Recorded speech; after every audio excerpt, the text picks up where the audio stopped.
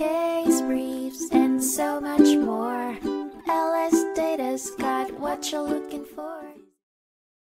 In a contentious case between a prolific author and a tenacious attorney, disagreements over a contract led to a legal standoff. The attorney, functioning as the author's personal representative and manager, entitled himself to 10% of the author's earnings. However, when the author withheld payment, a tug of war ensued over the possession of crucial business papers. This disagreement escalated to a lawsuit, with the author demanding the attorney relinquish the papers. The attorney countersued for compensation relating to the breached contract. As a compromise, the parties reached a written settlement agreement.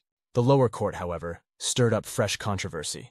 Questioning the fairness of the original contract and the subsequent settlement, the court ruled the agreements as unjust and void. This unexpected decision necessitated a closer look into the validity of the original agreement, prompting an appeal and a need for a new trial.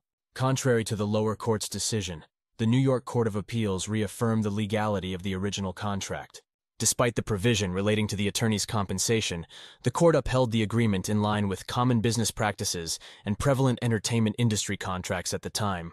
The appellate court ruled in favor of the freedom of contract, stating that it is not their role to judge the wisdom of the contractual parties' business decisions. Furthermore, it refuted the claim that the contract catered to the attorney's convenience alone, insisting on the apparent duties outlined for him in the existing contract. The court ultimately requested a new trial to scrutinize the relationship between the parties and the resulting modifications post-settlement. All the justices, including Chief Justice Loughran and Justices Lewis, Desmond, Dye, Fuld, and Froessel, concurred with this decision